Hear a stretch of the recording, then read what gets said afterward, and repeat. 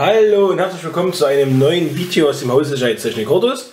Heute haben wir uns mal ein Produkt bestellt, das sogenannte Entre von Yale. Ja, das soll ein Motorschloss sein, welches man an die Tür anbringt, von außen mit äh, Pinfeld und Fingerscan-Tastatur bedienen kann und sozusagen das Aufsperren der Tür übernimmt. Ja, haben wir gesehen, haben wir gedacht, Mensch, mal sehen, ob das endlich mal eine Lösung ist für ein Motorschloss. Es gibt schon einige Motorschlösser auf dem Markt, aber mit denen waren wir jetzt bis jetzt noch nicht so zufrieden, dass man sagt, das ist alles dabei, was uns da gefällt.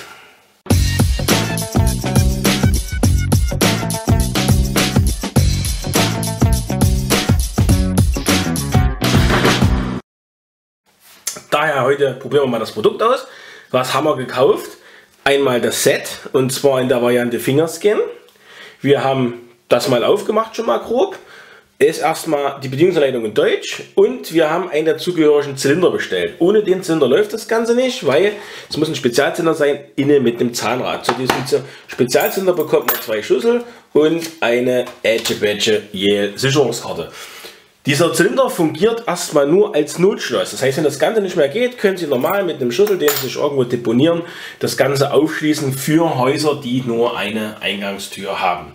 Jetzt gucken wir in das ganze Set mal rein und dann verbauen wir das diesmal auch an der Tür, äh, weil in der Bedienungsanleitung zum Beispiel drin steht, es soll nicht äh, in Betrieb genommen werden, bevor es nicht verbaut wird. Und wir wollen ja nichts kaputt machen, wir wollen es ja so machen, wie es in der Bedienungsanleitung steht. Hier steht auf alle Fälle schon mal drauf, ohne Schlüssel, öffne mit dem Smartphone, automatische Verriegelung und einfache Montage. Einfache Montage, wir werden mal die Zeit stoppen, mal sehen, wie lange wir brauchen für das ganze Ding. Ich lasse mich überraschen, wir gucken mal in den Karton rein.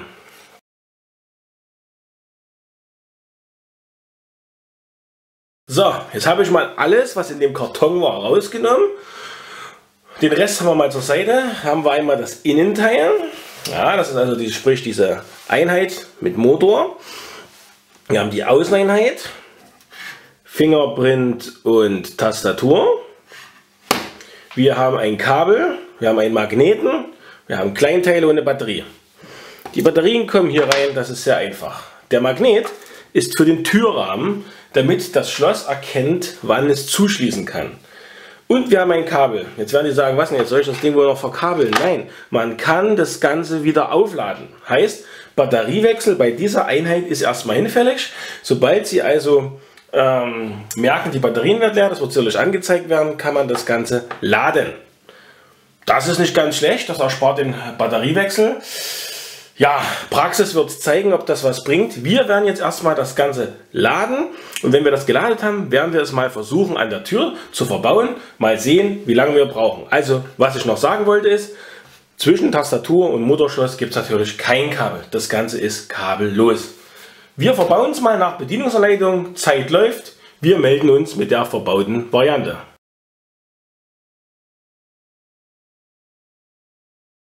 So, noch ein kleiner Zwischenstand vorm Einbau. Wir haben jetzt also das Motorteil auf den Zylinder angeflanscht, mit einer Schraube fixiert, die ist dabei, sodass wir nachher das Ganze von innen durch die Tür durchschieben können. Dabei muss man sagen, muss man das Ausmessen des Zylinders relativ genau machen. Sprich, die Innenseite darf da nicht zu kurz sein. Wunderbar eignet sich dann diese Einbaumethode für alle, die, die zum Beispiel auch einen Zielschutz haben. Egal welcher Art, da geht das wunderbar. So, jetzt beschäftigen wir uns mal mit dem Türteil und dem Schloss im Annähern-Modus. Gucken uns das mal an, bevor wir es einbauen. Und dann verbauen wir es mal und dann schauen wir einfach mal, was wir dann noch berichten können.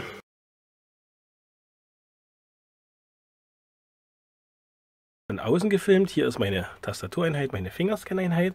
Ich habe einen Fingerscan genommen und hier haben wir den Zylinder verbaut. Hier, wo ist der Finger da, in der Tür. So, Tür zu, und wenn ich jetzt rein möchte, mache ich einfach folgendes. Ich lege meinen Finger drauf, warte bis zum Piepsen, ziehe den drüber und zack, Sie haben es gehört, klack, die Tür kann ich einfach aufschieben. Das war bis dorthin nicht schwierig. Kleiner Wermutstropfen, ich habe das Ganze ja geklebt, weil ich eine Glasscheibe habe. Da habe ich leider die Klebepads war nicht im Lieferumfang mit dabei. Ansonsten, Sie sehen es, von außen ist es wie ein ganz normaler mechanischer Zylinder. Ich tue mal hier fokussieren neu. Genau, ganz normaler mechanischer Zylinder. Da ist kein großer Unterschied. Einbauzeit bis hierher waren circa 10 Minuten. So, Das Ganze war ja zum Öffnen eben, was ich mal gezeigt habe. Zumachen geht ganz simpel. Ich berühre die Tastatur. Nicht wundern, Sie sehen jetzt ein Flackern in der Tastatur. Das hat was mit der Frequenz von dem Film zu tun. Ich drücke die 1, ich drücke Raute und das Ganze wird verschlossen. Und das war's schon. Tür ist zu. Super Sache. So, super Sache. Wie gesagt, von allen Dingen, weil es von außen ein ganz normaler Zylinder ist, der soweit nicht zu erkennen ist. Ich finde es eine bequeme Geschichte, aber man muss jetzt mal schauen, wie sich das bewährt. Es gibt ja hier keinen Batteriebetrieb mehr von dem Schloss, sondern es wird ja mit Akku gespeist. Und da werden wir mal schauen, wie lang die Akkuleistung ist, denn das Ganze ist ja auch wieder aufladbar. So, und jetzt gucken wir uns mal noch die Sache von innen an.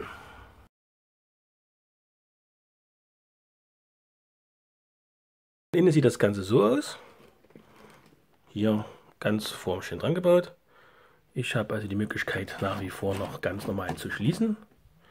Ich kann also hier, hier schließen, kann ich ganz normal machen. Aber ich kann auch hier an dem ziehen. Dann geht die Tür auf. Oder ich mache von unten nach oben. Und Tür ist wieder verschlossen. Soweit bis dahin gut. Jetzt schauen wir uns mal die App an. Ja, wir wollen jetzt hier mal die App vorstellen. Die App hat bei uns leider null Punkte gekriegt, denn bei uns hat das erstmal das Verbinden von der App bis an das Schloss war eine Katastrophe. Es ist leider in der Bedienungsanleitung völlig falsch beschrieben. Es fehlen ein paar Punkte und das hat aus einer am Ende zweiminütigen Aktion locker eine zwei Stunden Aktion gemacht, weil wir erst im Internet mal lesen mussten. Es gibt eine sehr gute Bedienungsanleitung. Da sind mehr Punkte drin als wie der, die beim Produkt dabei sind. Ja, das hat uns Haufen Zeit gekostet. Jetzt ist es so, ich lege nicht besonderen Wert auf die App, da wir letztendlich hier in dem Beispiel mit Fingerscan arbeiten, den Fingerscanner auch beibehalten wollen. Und da werde ich wohl kaum vor der Tür stehen und in die, in, das, äh, in die Notwendigkeit kommen, das Handy zu verwenden. Im Großen und Ganzen hat die App bei mir am Ende nicht wirklich funktioniert. Ich kann zwar hier langwischen, machen und mehren, aber das Schloss reagiert nicht. Und wenn Sie mal sehen, wie lange ich hier schon erzähle, jetzt tappelt die App zwar, geht wieder in den Ursprungszustand, aber passieren tut leider nichts. Batteriestatus sehe ich hier oben, ob der stimmt, werden wir mal schauen. Sie sehen, ja, leider kein Erfolg mit der App. Wer nur die App zum Öffnen hat, den wünsche ich mal viel Glück. Ich würde das nicht empfehlen. Ich würde eine Fernbedienung bzw. eine Tastatur immer empfehlen. Und wenn es zumindest die PIN-Tastatur ist, weil die PIN-Tastatur immer noch dafür Sorge trägt, dass man reinkommt, wenn man sich ausgesperrt hat. Das soll es an dem Punkt hier gewesen sein. Wie gesagt, die App ist bei uns leider durchgefallen. Die können wir so nicht empfehlen, obwohl sie kostenlos ist. Vielleicht lesen, äh, lösen wir das Rätsel eines Tages mal auf, woran es lag. Momentan ist es so, dass wir das Produkt mal verbaut lassen, denn dieses Auf- und Zuschließen ist schon ein Mehrgewinn, das muss man schon sagen. Im Großen und Ganzen dreieinhalb von fünf Sternen würden wir hier auf alle Fälle geben für das Produkt, auch weil es wieder aufladbar ist, weil die Montage so einfach war, würden wir das mal als durchaus gelungene Sache bezeichnen.